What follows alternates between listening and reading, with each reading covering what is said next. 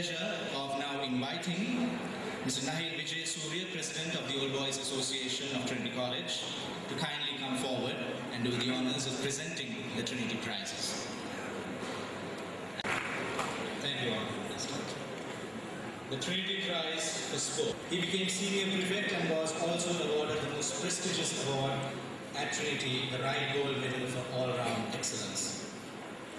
No sooner he left Trinity, he was selected to the national cricket team and he has become an inspiration to all past and present Trinitians and a role model for the youth of this country. His witty comments from behind the wicket have shown the world that Sri Lanka is ready to take up the challenge on all legitimate fronts of the game. Our hope is that before long he will be called on to lead the national side. Ladies and gentlemen, the Trinity Prize for Sport is awarded to Mr. Kumar Sangakkara.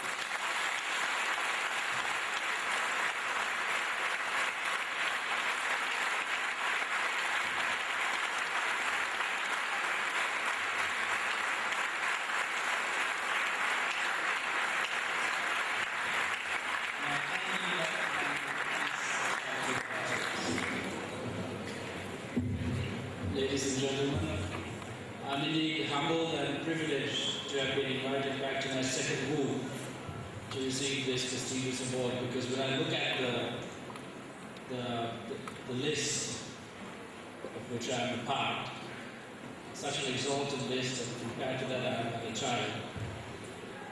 Um, when I look back upon my relatively short life, I can't find a better substitute for my time at Trinity because it is here that I very sparingly and reluctantly drank from the cup of knowledge.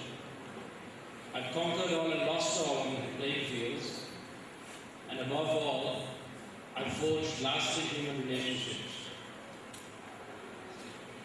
To me, Trinity does not lie in these buildings or the ground we stand on today.